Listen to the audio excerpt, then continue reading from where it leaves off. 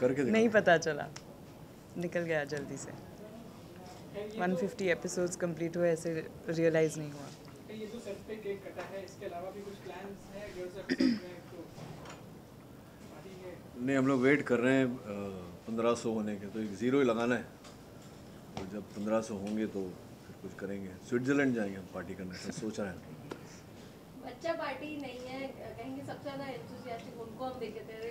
सारे हाँ मैं वही कह रहा था केक काटते वक्त अगर बच्चा पार्टी नहीं वहाँ करण डिम्पी निवेदिता या पूरी कास्ट होती तो शोर भी ज़्यादा होता और यू नो कास्ट पूरी होती है पूरी फैमिली साथ में होती तो मज़ा भी ज़्यादा आता है। आगे और क्या ट्विस्ट एंड टर्न्स देखने मिलेंगे हमें? ये आपको डॉक्टर अमन बताएँगे।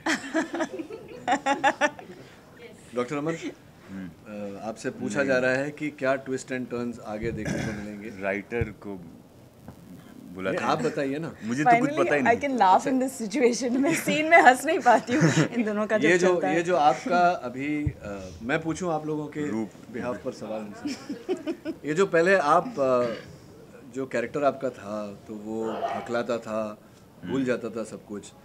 अभी अचानक आपका ये एकदम गंभीर इंटेंस परफॉर्मेंस कहीं ना कहीं आपकी परफॉर्मेंस हमें बच्चन साहब की याद भी दिलाती है।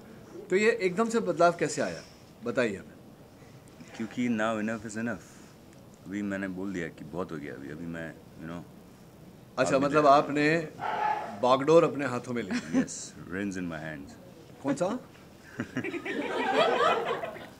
अच्छा रागिनी आपने फाइनली डिसाइड किया कि इसको जाने डेढ़ सौ एपिसोड में हम देख रहे हैं कभी इस तरफ़ झुकाव होता है कभी इस तरफ़ झुकाव होता है। अब फाइनली आगे के एपिसोड में क्या लगता है कहाँ जाएगी? क्योंकि अभी भी हमने सीन जिस तरह से अभी शूट किया कि फिर से झगड़ा ही है कोई वो पासपोर्ट मांगने आते हैं आरफ का। किस तरह अब आगे के एपिसोड में झुकाव होगा?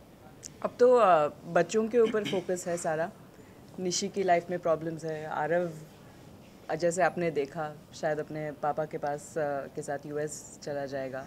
तो पूरी पूरी पूरी स्टोरी का फोकस बच्चों पर है तो उसी पे हम लोग कंसंट्रेट कर रहे हैं। नहीं नहीं मैं मैं इस इनके इस वाक्य से सहमत नहीं हूँ। पूरा फोकस बच्चों पे नहीं है। अ, बात I think what you're trying to say is कि फोकस हम दोनों पर ही है और डॉक्टर अमन पे इस ट्रायंगल पे।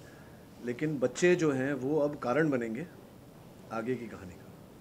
तो अब तक की कहानी तो ये है कि अमेरिका जाने का प्लान है लेकिन आप सभी जानते हैं कि अगर नील अमेरिका चला गया तो तो फिर तो फिर तो कहानी खत्म।